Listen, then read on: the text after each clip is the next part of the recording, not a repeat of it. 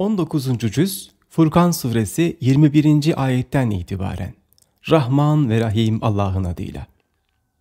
Bizim huzurumuza çıkarılacaklarını hiç beklemeyenler, bize melekler gönderilmesi veya Rabbimizi görmemiz gerekmez miydi diyorlar.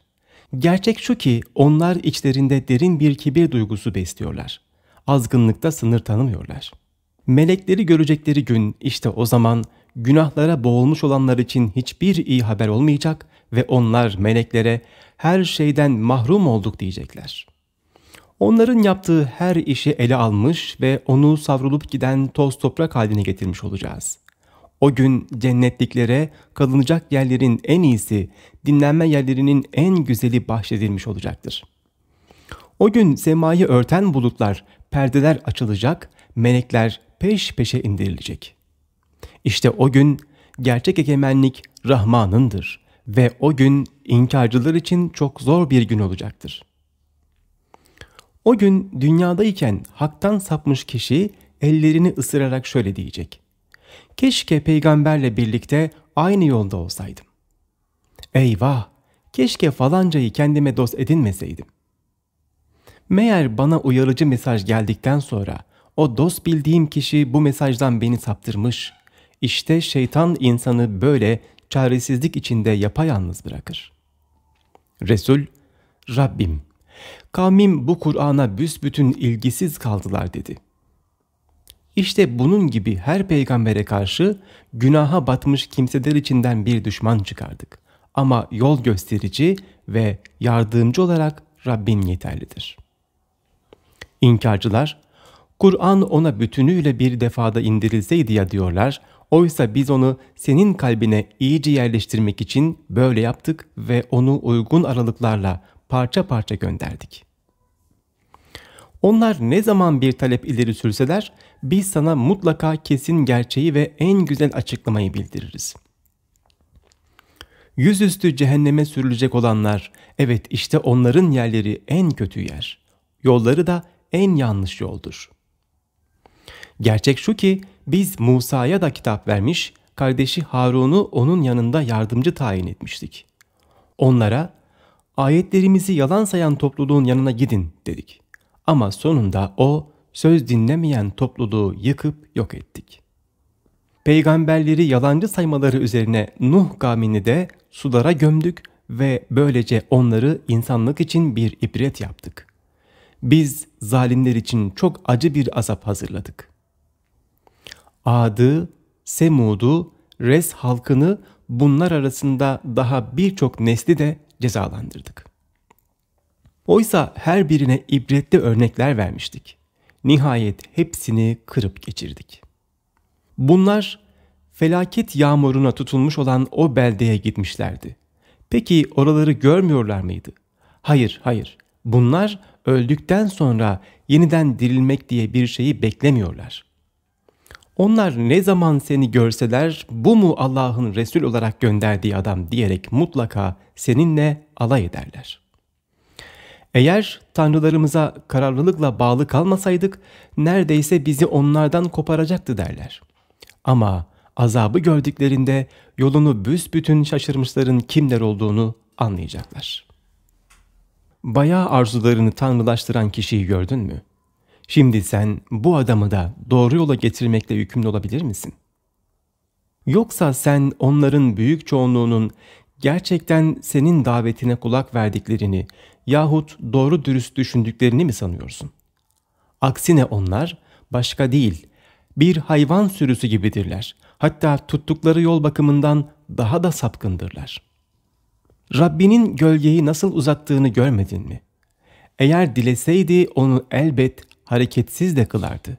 Sonra güneşi gölgeye yol gösterici kılmışızdır. Sonra da onu yavaş yavaş kendimize çekmekteyiz.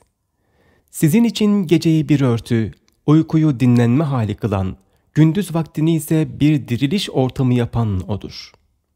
Rüzgarları rahmetinin önünde müjdeci olarak gönderen O'dur. Gökten de tertemiz su indirdik ki onunla ölü toprağı canlandıralım ve hayvanıyla, insanıyla yarattığımız nice varlıkları suya kavuşturalım. Gerçek şu ki biz bütün bunları insanlar doğru dürüst düşünüp ders çıkarsınlar diye kendilerine tekrar tekrar anlatmışızdır. Buna rağmen insanların çoğu nankörlükte direnip durmuşlardır. Eğer isteseydik her yerleşik topluluğa bir uyarıcı gönderirdik. Öyleyse artık inkarcılara boyun eğme, bu Kur'an'la onlara karşı bütün gücünle mücadeleni sürdür. Biri tatlı ve susuzluğu giderici, diğeri tuzlu ve acı olan iki denizi karışacak şekilde salıveren ve ikisi arasına bir engel, aşılmaz bir perde koyan O'dur. İnsan türünü sudan yaratıp, onların arasında soy ve sıhriyet bağ kuran da O'dur. Rabbin üstün kudret sahibidir. Ama onlar Allah'ı bırakıp kendilerine ne faydası ne de zararı dokunan şeylere kulluk ediyorlar. Zaten inkarcı kişi Rabbine karşı inkarcıya arka çıkar. Biz seni sadece bir müjdeci ve uyarıcı olarak gönderdik. De ki, bu görevimden dolayı dileyenin Rabbine giden bir yol izlemesi dışında sizden bir karşılık istemiyorum. Asla ölmeyecek olan o diri varlığa Allah'a dayanıp güven ve ona hamd ederek yüceliğini dile getir. Kullarının günahlarından haberdar olma konusunda o kendi kendine yeterlidir.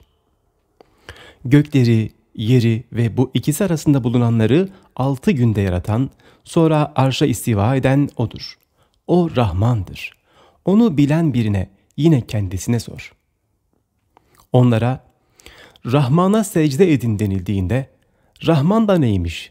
Biz senin istediğin şeye secde eder miyiz derler ve bu istek onları haktan daha da uzaklaştırır.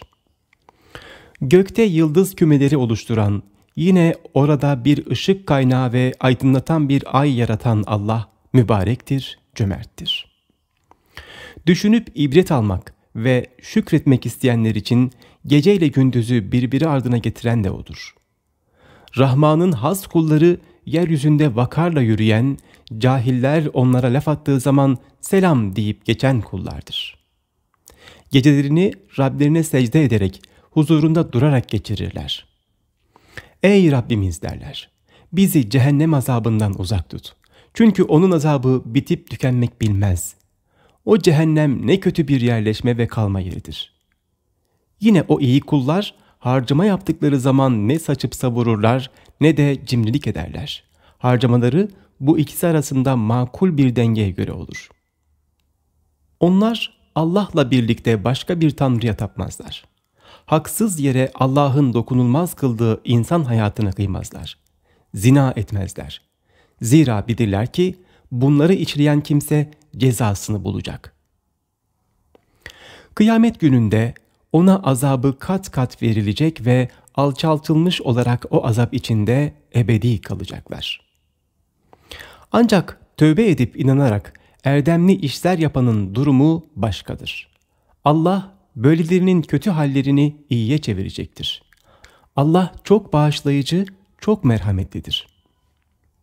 Evet, kim tövbe edip erdemli davranırsa bu durumda gerektiği şekilde Allah'a yönelmiş olur.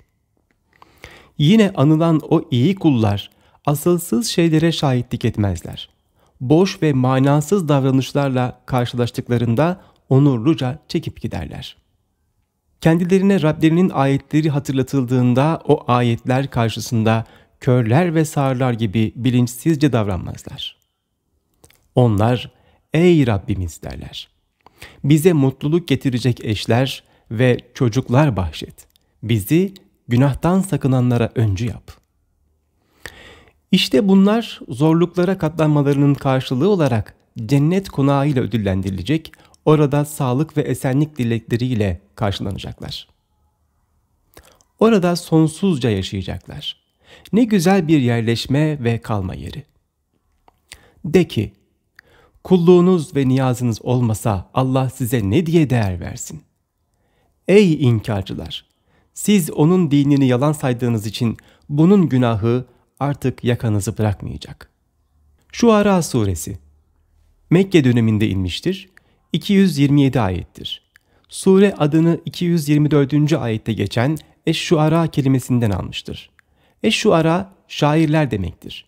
Surede başlıca Musa, İbrahim, Nuh, Hud, Salih ve Şuayb peygamberin kıssaları dile getirilmekte, müşriklerin Kur'an'ın vahiy dışı bir kaynağa dayalı olduğu iddialarına karşılık onun bir vahiy eseri olduğu vurgulanmakta, söz konusu kaynakların Kur'an üzerinde hiçbir etkisinin bulunmayacağı ifade edilmektedir.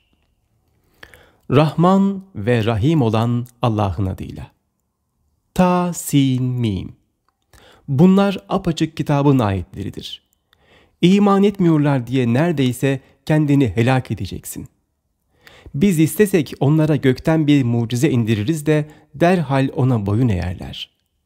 Ne zaman Rahman'dan kendilerine yeni bir uyarı gelse mutlaka bundan yüz çevirmektedirler. Hep yalanladılar. Fakat alay edip durdukları şeylere ait bilgiler yakında onlara gelecektir. Peki o inkarcılar yeryüzüne hiç bakmazlar mı? Orada her türden nice değerli bitkiler çıkarmışızdır. Şüphesiz bunlarda alınacak büyük bir ders vardır. Ama çoğu iman etmezler.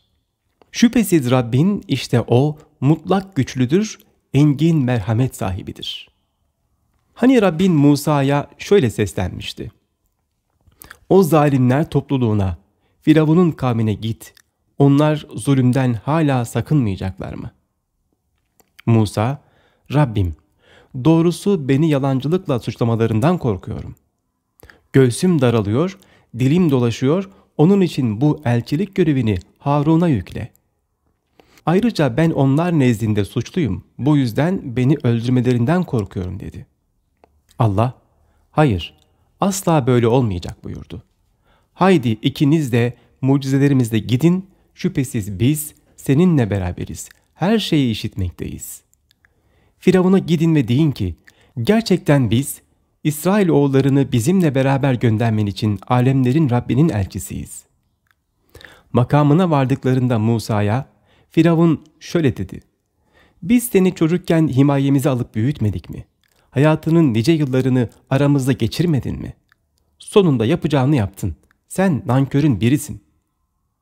Musa, ben dedi, o işi sonunun ölüme varacağını bilmeden yaptım. Sizden korkunca da hemen aranızdan kaçtım. Sonra Rabbim bana doğru karar vermeyi öğretti ve beni peygamberlerden biri yaptı.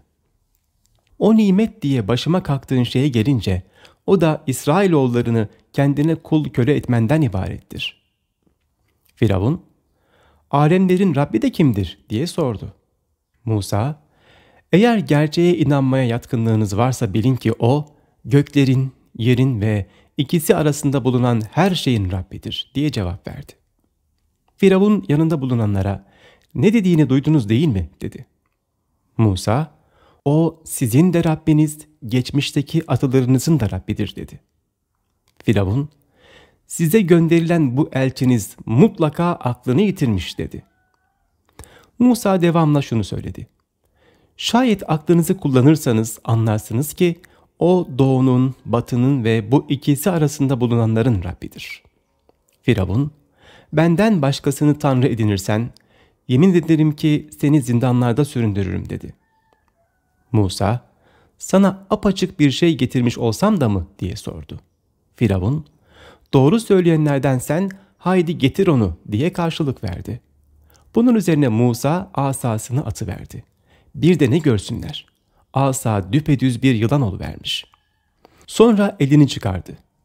O da bakanlara beyaz ışık saçan bir şey oluvermiş. Firavun çevresindeki seçkinlere şöyle dedi. Doğrusu bu çok bilgili bir sihirbaz. Yaptığı sihirle sizi yurdunuzdan çıkarmak istiyor. Buna karşı ne buyurursunuz?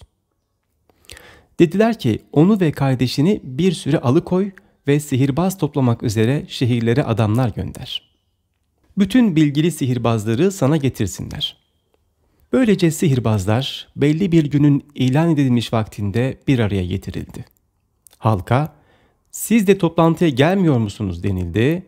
Sihirbazlar üstün gelirlerse ki umudumuz budur, herhalde onların yolundan gideriz. Sihirbazlar geldiklerinde Firavun'a üstün gelen biz olursak herhalde bize bir ödül vardır değil mi? dediler. Firavun, evet dedi. O takdirde gerçekten has adamlarından olacaksınız. Musa sihirbazlara, ne atacaksanız atın dedi. Bunun üzerine iplerini, değneklerini yere attılar ve dediler ki Firavun'un üstün gücü adına elbette üstün gelen biz olacağız. Sonra Musa da değneğini yere attı, bir de ne görsünler onların düzmece nesnelerini yutuveriyor. Sihirbazlar derhal secdeye kapandılar. Alemlerin Rabbine, Musa ve Harun'un Rabbine iman ettik dediler. Firavun dedi ki, benim size izin vermemi beklemeden ona iman ediyorsunuz öyle mi? Anlaşılan o size sihri öğreten üstadınızmış ama şimdi göreceksiniz. Andolsun ellerinizi ve ayaklarınızı çaprazlama keseceğim, hepinizi astıracağım. Zararı yok dediler. Nasıl olsa biz Rabbimize dönüyoruz. İlk iman edenler olduğumuz için Rabbimizin hatalarımızı bağışlayacağını umuyoruz.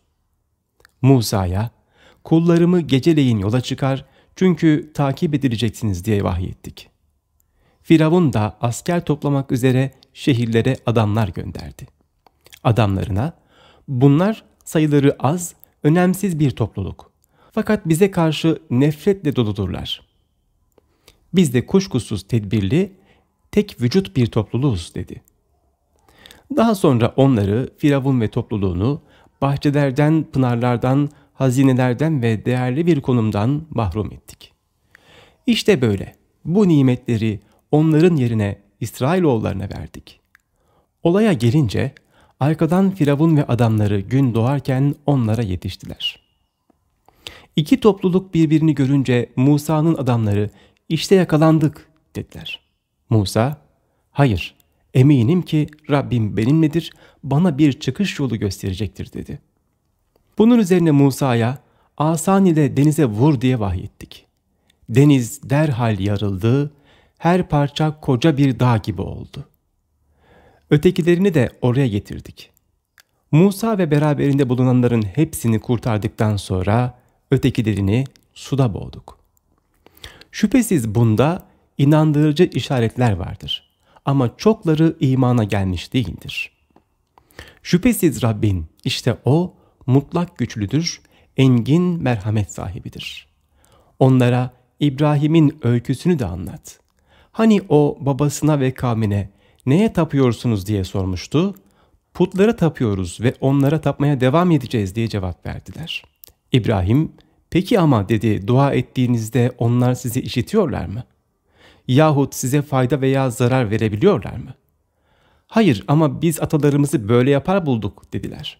İbrahim dedi ki, iyi de siz ve önceki atalarınızın neye taptığınızı hiç düşündünüz mü? İyi bilin ki alemlerin Rabbi dışında taptıklarınız benim düşmanımdır. O beni yaratan ve bana doğru yolu gösterendir. Beni yediren ve içirendir. Hastalandığım zaman bana şifa verendir. Canımı alacak olan, sonra beni yeniden diriltecek olandır. Hesap günü hatalarımı bağışlayacağını umduğum yine O'dur. Rabbim bana hikmet ver ve beni iyiler arasına kat. Arkadan gelecekler içinde iyilikle anılmayı bana nasip eyle. Beni naim cennetine girenlerden eyle. Babamı da bağışla. Şüphesiz o doğru yoldan sapanlardan oldu.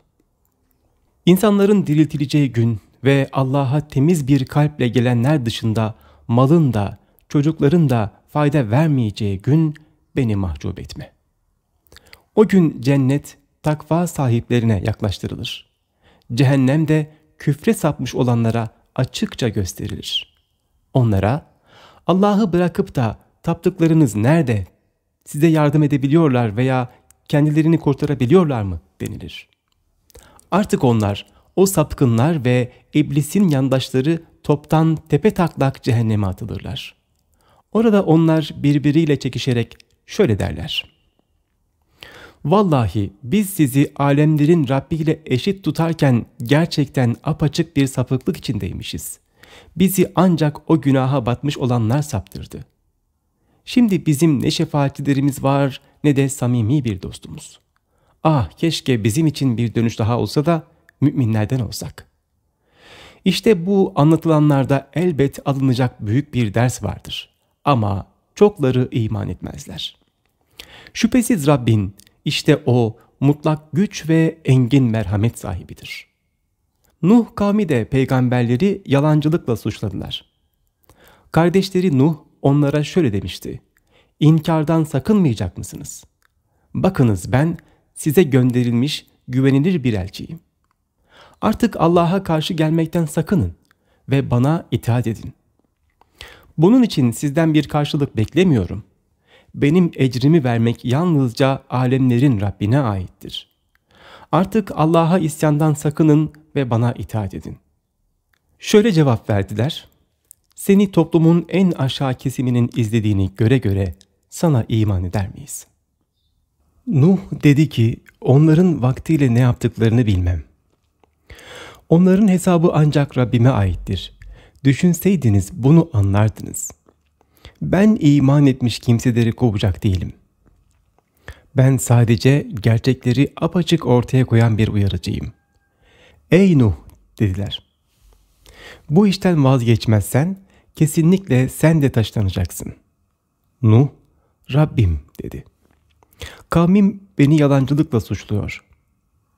Artık benimle onların arasındaki durumu sen hükmünle açıklığa kavuştur. Beni ve beraberindeki müminleri kurtar. Bunun üzerine biz onu ve beraberindekileri o her şeyle dop dolu geminin içinde kurtardık. Sonra geri kalanları da sulara gömdük. Doğrusu anlayanlar için bu kıssada büyük bir ders vardır ama çokları iman etmezler. Şüphesiz Rabbin işte o mutlak güçlüdür, engin merhamet sahibidir. Ad kavmi de peygamberleri yalancılıkla suçladılar. Kardeşleri Hud onlara şöyle demişti, Allah'a karşı gelmekten sakınmıyor musunuz? Ben size gönderilmiş güvenilir bir elçiyim. Artık Allah'a karşı gelmekten sakının ve bana itaat edin. Bunun için sizden bir karşılık beklemiyorum. Benim ecrimi vermek yalnız alemlerin Rabbine aittir. Siz boş şeylerle uğraşarak her yüksek yere bir anıt mı dikersiniz? Temelli kalacağınızı umarak mı büyük konaklar yaparsınız? Gücünüzü hep zalim zorbalar gibi mi kullanırsınız? Artık Allah'tan korkun ve bana itaat edin. Bildiğiniz şeyleri size veren, size sürüler, oğullar, bağlar, pınarlar ihsan eden Allah'a karşı gelmekten sakının. Doğrusu sizin hakkınızda büyük bir günün azabından korkuyorum. Şöyle cevap verdiler. Sen öğüt versen de vermesen de bizce birdir. Bu öncekilerin tuttuğu yoldan başkası değildir. Bu yüzden azaba uğratılacak da değiliz. Böylece onu yalancılıkla suçladılar, biz de onları helak ettik. Doğrusu bu anlatılanlarda büyük bir ibret vardır ama çokları inanmazlar. Şüphesiz Rabbin işte o mutlak güç ve engin merhamet sahibidir. Semud kavmi de peygamberleri yalancılıkla suçladı. Kardeşleri Salih onlara şöyle demişti. Allah'a karşı gelmekten sakınmaz mısınız? Bakınız, ben size gönderilmiş güvenilir bir elçiyim. Artık Allah'a karşı gelmekten sakının ve bana itaat edin. Bunun için sizden bir karşılık beklemiyorum. Benim ecrimi vermek yalnız alemlerin Rabbine aittir.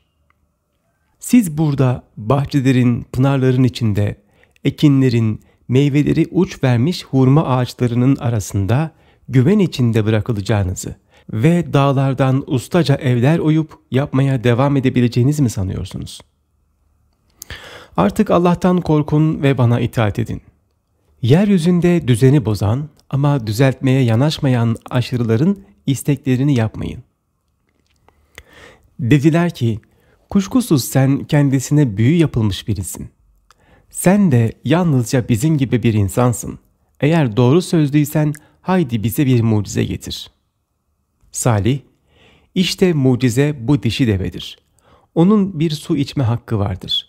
Belli bir günün içme hakkı da sizindir. Sakın ona bir kötülük yapmayın. Yoksa büyük bir günün azabı yakanıza yapışır dedi. Buna rağmen onlar deveyi kestiler ama yaptıklarına pişman oldular çünkü onları azap yakaladı. Doğrusu bunda büyük bir ders vardır ama çokları iman etmezler. Şüphesiz Rabbin işte o mutlak güç ve engin merhamet sahibidir. Lut kavmi de peygamberleri yalancılıkla suçladı. Kardeşleri Lut onlara şöyle demişti. Allah'a karşı gelmekten sakınmaz mısınız? Bilin ki ben size gönderilmiş güvenilir bir elçiyim. Artık Allah'a karşı gelmekten sakının ve bana itaat edin. Bunun için sizden karşılık beklemiyorum. Benim ecrimi vermek yalnız alemlerin Rabbine aittir. Rabbinizin sizler için yarattığı eşlerinizi bırakıp da insanlar arasından erkeklerle mi beraber oluyorsunuz? Doğrusu siz haddini aşan bir kavimsiniz. Ey Lut dediler.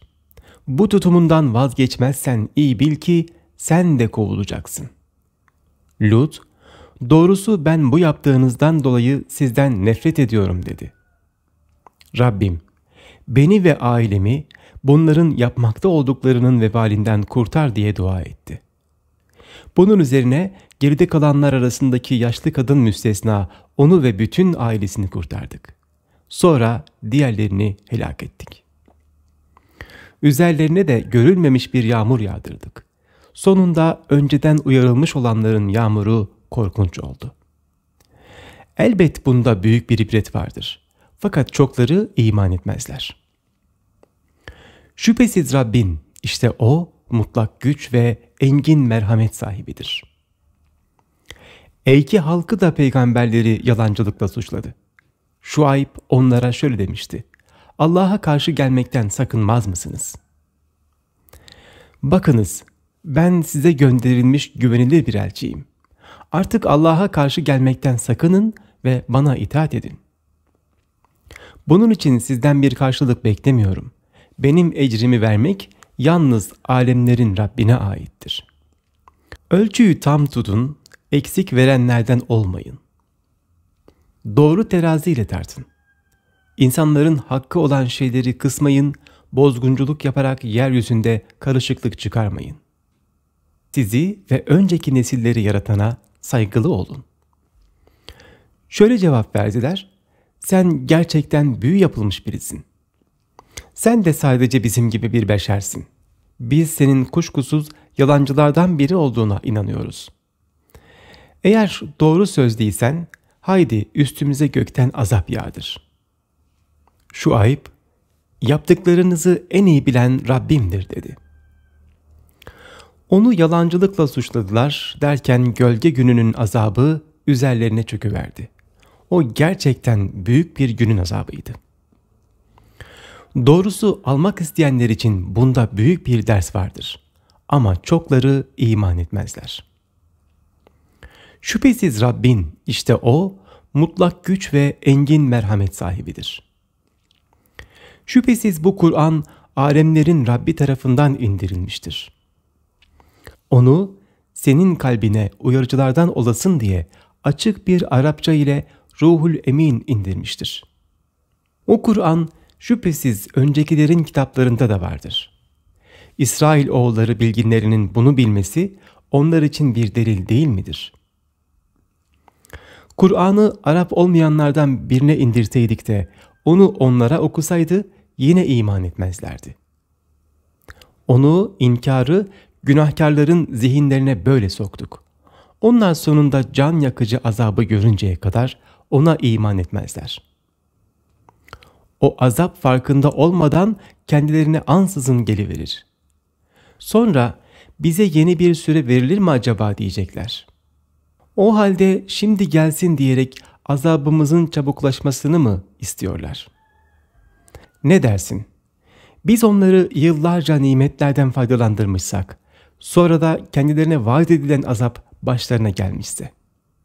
Senelerce yararlandırıldıkları nimetler onlara ne fayda sağlamıştır? Kaldı ki biz öğüt vermek üzere uyarıcılar göndermeden hiçbir ülke halkını yok etmemişizdir. Biz zalim değiliz. Onu ilahi öğüdü şeytanlar indirmedi. Bu onların yapacağı iş değildir. Zaten buna güçleri de yetmez. Şüphesiz onlar vahyi işitmekten kesinlikle uzak tutulmuşlardır. O halde sakın Allah'la birlikte başka tanrıya kulluk edip yalvarma. Sonra cezaya çarptırılanlardan olursun. Yakın akrabanı da uyar. Sana uyan müminlere kol kanat ger. Şayet sana karşı gelirlerse de ki ben sizin yaptıklarınızdan kesinlikle uzağım. Sen o mutlak güçlü ve engin merhamet sahibi olan huzurunda durduğun ve secde edenler içinde halden hale girdiğin zaman seni gören Allah'a güvenip dayan. Her şeyi işiten, bilen O'dur. Şeytanların kime ineceğini size haber vereyim mi? Onlar günaha, iftiraya düşkün olan herkese inerler, onlara kötülüğü telkin ederler. Bunlar şeytanlara kulak verirler, çoğu da yalancıdır. Şairlere gelince onlara da yoldan sapanlar uyar. Onların her vadide şaşkın şaşkın dolaştıklarını ve gerçekte yapmadıkları şeyleri söylediklerini görmez misin? Ancak iman edip dünya ve ahiret için yararlı işler yapanlar, Allah'ı çokça ananlar ve haksızlığa uğratıldıktan sonra kendilerini savunanlar başkadır. Haksızlık edenler neye nasıl dönüşeceklerini, başlarına nasıl başlarına nelerin geleceğini yakında görecekler. Neml suresi Mekke döneminde inmiştir, 93 ayettir. Sure adını 18. ayette yer alan en-neml kelimesinden almaktadır. Neml karınca demektir. Surede başlıca Süleyman peygamber ve Sebe melikesi Belkıs kıssasıyla Salih ve Lut peygamberler konu edilmekte, ayrıca müminlerin kurtuluşa ereceği, İslam karşıtlarının kötü akıbetleri, öldükten sonra dirilmek ve kıyamet dile getirilmektedir. Rahman ve Rahim olan Allah'ın adıyla. Tasin. Bunlar Kur'an'ın, gerçekleri açıklayan kitabın ayetleridir. Namazı kılan, zekatı veren ve ahirete kesin bir şekilde iman eden müminler için bir hidayet rehberi ve bir müjdedir. Ahirete inanmayanların yapıp ettiklerini şüphesiz kendilerine güzel göstermiş olduk. Bu yüzden şuursuzca eğlenip dururlar. İşte en ağır cezayı hak edenler bunlardır. Ahirette en çok ziyana uğrayacak olanlar da yine bunlardır. Şüphesiz ki bu Kur'an sana ilim ve hikmet sahibi Allah tarafından verilmektedir. Bir zamanlar Musa ailesine şu uzakta bir ateş bulunduğunu fark ettim size oradan bir haber ya da ısınmanız için ondan bir parça kor getireceğim demişti. Oraya geldiğinde ona şöyle seslenildi. Ateşin yanındaki ve çevresindekiler mübarek kılınmıştır. Alemlerin Rabbi olan Allah her türlü noksanlıktan uzaktır. Ey Musa! Şüphesiz ben mutlak galip ve hikmet sahibi olan Allah'ım. Asanı yere at. Musa atıp da onu yılan gibi kımıldanır görünce arkasına bakmadan dönüp kaçtı. Allah buyurdu ki, Ey Musa! Korkma! Benim huzurumda peygamberler korkmaz. Ancak haksızlığa sapan korkar. O da işlediği bir kötülük yerine bir iyilik ederse bilsin ki ben çok bağışlayıcıyım, çok merhametliyim. Şimdi elini koynuna sok da kusursuz bembeyaz olarak çıksın. Dokuz mucize ile Firavun ve kavmine git. Çünkü onlar yoldan çıkmış bir kavim oldular. Mucizelerimiz onların gözleri önünde serilince bu düpedüz bir sihirdir dediler. Mucizeleri açık ve kesin olarak görüp idrak ettikleri halde zulüm ve kibirlerinden ötürü onları inkar ettiler. Bozguncuların sonunun nice olduğuna bir bak. Şüphesiz biz Davud'a ve Süleyman'a bir ilim verdik. Bizi mümin kullarının birçoğundan üstün kılan Allah'a hamdolsun dediler. Süleyman Davud'un yerine geçti. Dedi ki ey insanlar bize kuş dili öğretildi ve bize her şeyden gerektiği kadar verildi. Doğrusu bu apaçık bir lütuftur. Bir zaman cinlerden, insanlardan ve kuşlardan oluşan orduları Süleyman'ın emrinde toplanmış, birlikte sevk ve idare ediliyordu. Nihayet Karınca Vadisi'ne geldiklerinde bir karınca şöyle dedi. Ey karıncalar! Yuvalarınıza girin, aman Süleyman ve ordusu farkına varmadan sizi ezmesin. Onun bu sözünden dolayı Süleyman neşeyle gülümsedi ve ''Ey Rabbim'' dedi. ''Gerek bana gerekse anne babama verdiğin nimete şükretmeye ve hoşnut olacağın iyi işler yapmaya beni muvaffak kıl. Rahmetinle beni iyi kullarının arasına kat.'' Süleyman kuşları gözden geçirdi ve ''Hüdhüdü niçin göremiyorum yoksa kayıplara mı karıştı?'' diye sordu ya bana açık bir gerekçe getirir veya onu şiddetle cezalandırırım ya da onu boğazlarım. Çok geçmeden Hüt Hüt gelip dedi ki ben senin bilmediğin bir şeyi öğrendim. Sebe halkından sana kesin bir bilgi getirdim. Onları bir kadın hükümdarın yönettiğini gördüm. Kendisine her imkan verilmiş bir de muhteşem tahtı var. Ancak onun ve halkının Allah'ı bırakıp güneşe taptıklarını gördüm.'' Şeytan onlara yaptıklarını güzel göstermiş. Böylece onları yoldan alıkoymuş. Bu yüzden doğru yolu bulamıyorlar. Şeytan bunu göklerde ve yerde gizli olanı açığa çıkaran, gizlediğinizi ve açıkladığınızı bilen Allah'a secde etmesinler diye yapmış. Oysa büyük arşın sahibi olan Allah'tan başka Tanrı yoktur. Süleyman da, doğru mu söylüyorsun yoksa yalancılardan biri misin göreceğiz. Şu mektubumu götür, önlerine bırak. Sonra onların yanından çekil de ne sonuca varacaklarına bak. Sebe melikesi adamlarına şöyle dedi. Beyler bana çok önemli bir mektup gönderilmiş. Mektup Süleyman'dan gelmekte. Rahman ve Rahim olan Allah'ın adıyla başlamaktadır. Bana üstünlük taslamayın, gelip bana teslim olun denilmektedir. Kraliçe şöyle dedi. Efendiler, içinde bulunduğum durum hakkında bana görüşünüzü açıklayın. Sizin görüşünüzü almadan asla bir işe kesin karar vermem. Şu cevabı verdiler. Biz güçlüyüz. Zorlu savaşçılarız. Yine de yetki senindir. Artık ne buyuracağını sen düşün.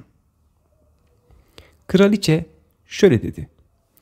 Krallar bir ülkeye girdiler mi oranın altını üstüne getirirler ve halkının ulularını aşağılanmış duruma düşürürler. Bunlar da öyle yapacaklardır. Ben bunlara bir hediye göndereceğim. Sonra bakacağım elçiler neyle dönecekler.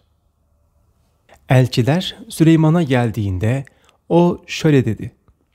Siz bana mal yardımı mı yapıyorsunuz? Allah'ın bana verdiği size verdiğinden daha değerlidir. Hayır hayır bu hediyenizde ancak sizin gibiler sevinir.''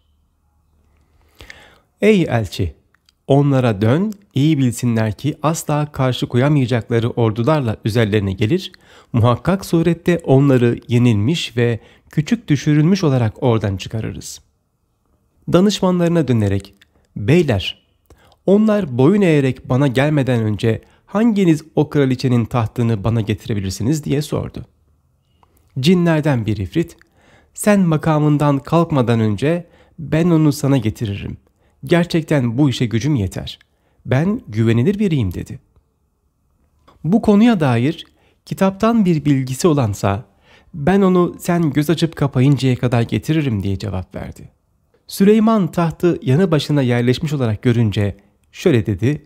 Bu şükür mü yoksa nankörlük mü edeceğim diye beni sınayan Rabbimin bir lütfudur. Şükreden ancak kendisi için şükretmiş olur. Nankörlük edene gelince o bilsin ki Rabbimin hiçbir şeye ihtiyacı yoktur, kerem sahibidir. Onun tahtını tanıyamayacağı bir hale getirin. Bakalım gerçeği anlayacak mı yoksa anlamayanlardan mı olacak dedi. Kraliçe geldiğinde senin tahtında böyle mi diye soruldu. Tıpkı o dedi ve ekledi. Biz bundan önce hakkınızda bilgi sahibi olmuş ve çağrınıza boyun eğmiştik. Onu daha önce Allah'tan başka taptığı şeyler saptırmıştı.